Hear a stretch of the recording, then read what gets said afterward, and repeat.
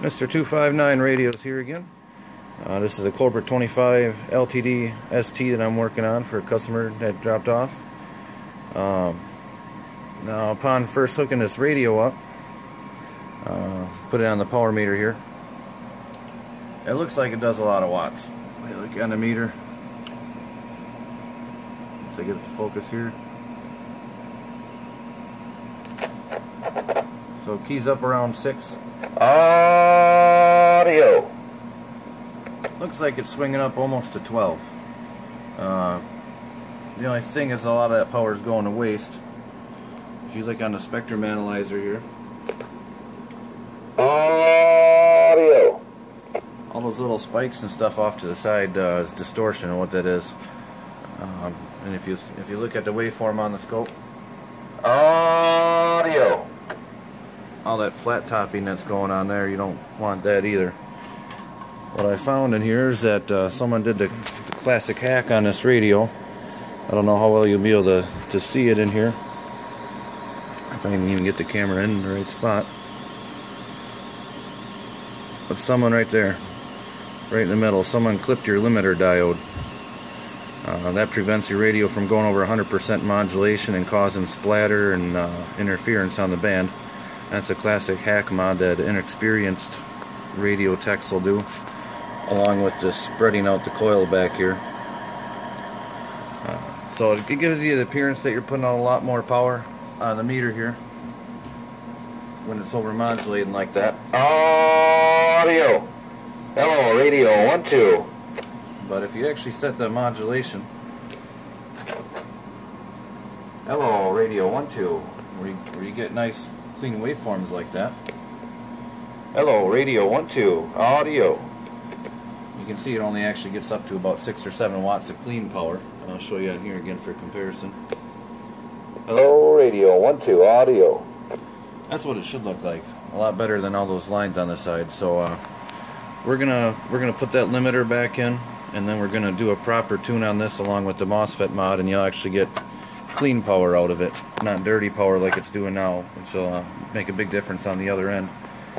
Uh, the other thing is you'd had to switch on the side here, and you thought that was possibly for a variable dead key or, or a high and low dead key, and it actually ends up that's extra frequencies this radio uh, with the switch in the down position the radio's upside down right now with the switch in the down position you're on the regular 40 channel CB band it's channel 19 right there and if I flip it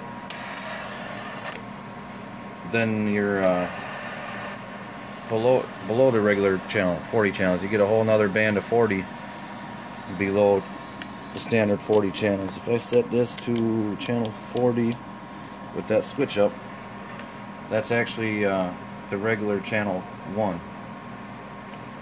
And then anything under that is going to be below regular CB channel 1. So this radio's actually got extra channels in it. Kind of cool little modification uh, that it already has done to it. So that's where we're at. We'll get to doing the proper modification of this and I'll show you the result when we're done. Okay, just wanted to show you we got the limiter put back in there now.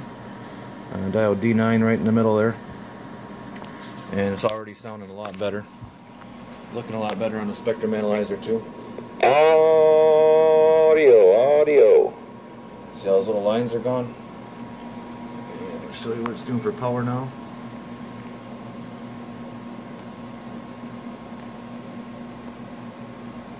Some reason this thing always a hard time focusing on the power meter.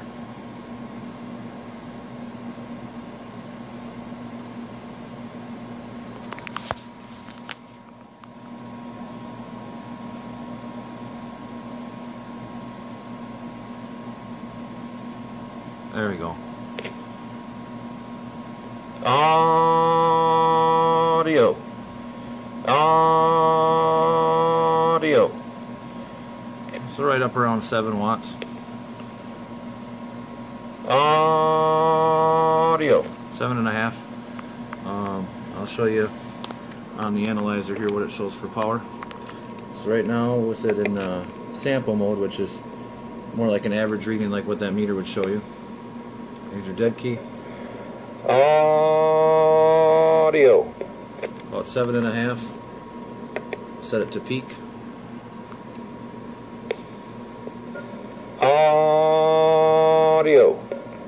About 25.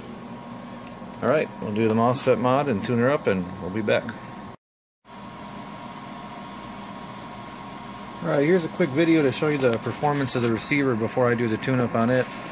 Um, the manual says it's supposed to have a sensitivity sensitivity of less than 1 microvolt. If I get up to 1 microvolt, that's about how loud it is.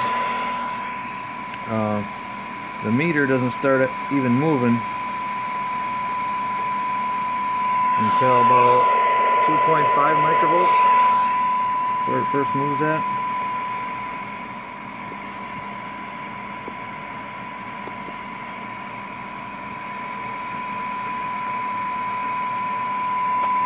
Yeah. Or 2.5 microvolts. So we'll do the tune-up on the receiver and see how we come out. Alright, we're back with the Cobra 25 here. Got, the, got it all put back together and ready to go. I'll show you how the receiver turned out here. Sensitivity is a lot better than before. Uh, let's see if I can get it to zero in here.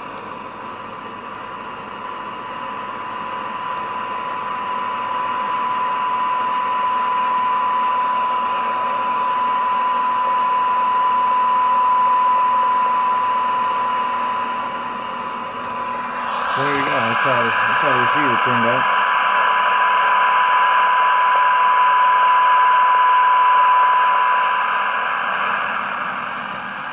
And we'll be back. I'll hook up so you can see what the transmit's doing.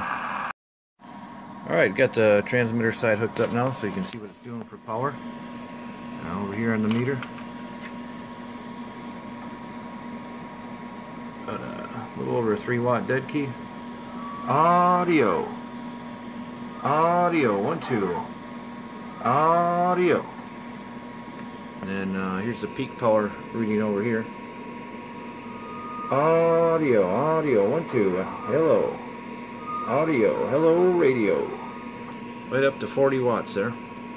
And uh, I get the modulation set with the limiter back in. Audio. One, two. Audio. Hello. Audio. Check. One, two. Hello, radio. It looks nice and rounded off now, not all uh, flat topped like it was before. And then I'll show you the uh, spectrum analyzer screen here. You see it's a lot cleaner than last time. Audio. There's not all those little spikes off to the side when it's modulating, so it's all uh, it's all clean power now. 40 watts on the frequency that you're on, not spread out all over the band. So it turned out pretty good. Should work good for you.